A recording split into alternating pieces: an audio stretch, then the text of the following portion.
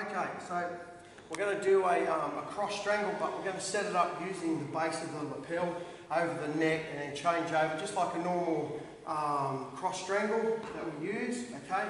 We're just going to use the base of the lapel. So I have him in my guard, so I pull him in close. Yeah, he'll grab hold, do whatever he has to do. He's not expecting it to come over. Change hands to here. Let's pull tight. Now, my, my right hand grabs hold, exactly the same way I would inside the uniform. This hand, don't feed underneath because he's going to give it away. So even if he drops his head down in there, that's fine. I put my thumb in through at the top, there, and slide in and pull in. You have a look.